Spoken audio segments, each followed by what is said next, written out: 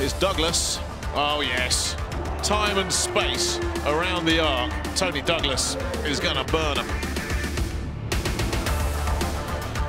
Douglas has nailed another big three there. That equals Darüşşafaka's EuroLeague record for three-pointers made in a game.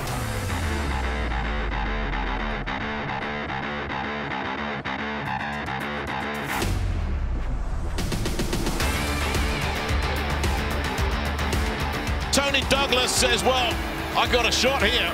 And Toney Douglas has come alive big time. They've got to move fast here. The floater is good.